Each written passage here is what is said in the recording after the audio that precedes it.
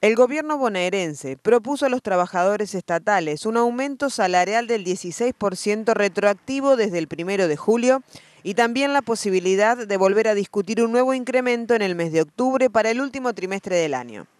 Con esta oferta, la administración de María Eugenia Vidal quedó cerca de cerrar el nuevo tramo de negociación con los sindicatos que representan a los trabajadores de la Ley 10.430.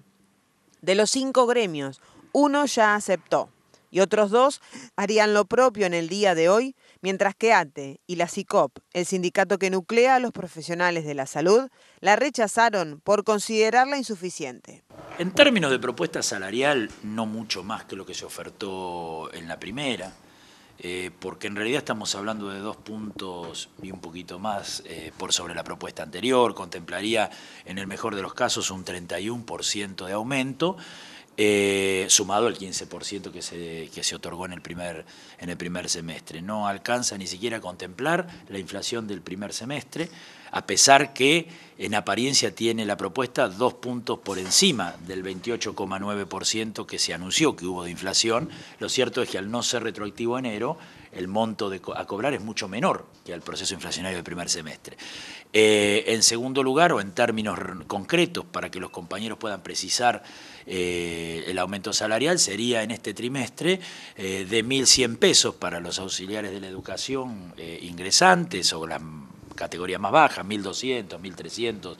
a lo sumo. Eh, en el caso de los administrativos estaría en 1.000, 1.100 pesos y 1.500 en el caso de, los ingresantes en enfermería. Está claro que no contempla la pérdida del poder adquisitivo, que nos termina consolidando la pérdida del poder adquisitivo y por lo tanto nosotros la rechazamos por insuficiente la propuesta y le planteamos al gobierno que eh, haya una nueva propuesta salarial el día de hoy a las 5 de la tarde cuando nos volvamos a